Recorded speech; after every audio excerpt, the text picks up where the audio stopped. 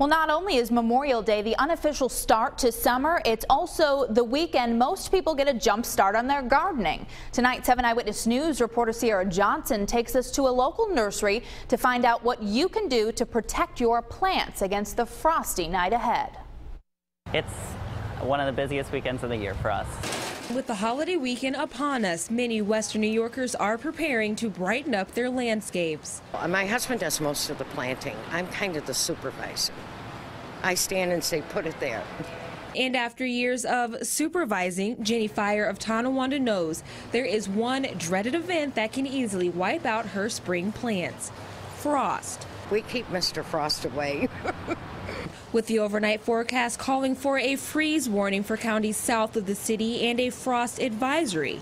For northern counties, folks with annuals or vegetables already in the ground may have a little extra work to do.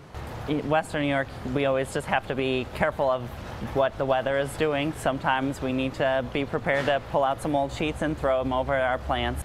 Whether you decide to use an old sheet or even a tarp, that bit of extra coverage will protect those plants. Another challenge this season, a recent spell of hot and dry weather. I'm used to the hot, then the cold, then the very hot, then the very, very cold. Since March 1st, the region has only seen less than five inches of rain. That's about three inches under the average. Barbarish says those hoping for a plush green yard this season, this could make growing grass difficult. When you start to do all of your planting, you will need to want to make sure that stuff stays watered and doesn't get dry, dry out right after you plant your, your annuals or your vegetables, anything like that. And again, with the freeze and frost warnings in effect tonight, be sure to cover those delicate annuals and vegetable plants with a sheet, tarp, or burlap. And if you have uh, potted plants, rather, your best bet is just to pull them indoors. Sierra Johnson, 407 Eyewitness News.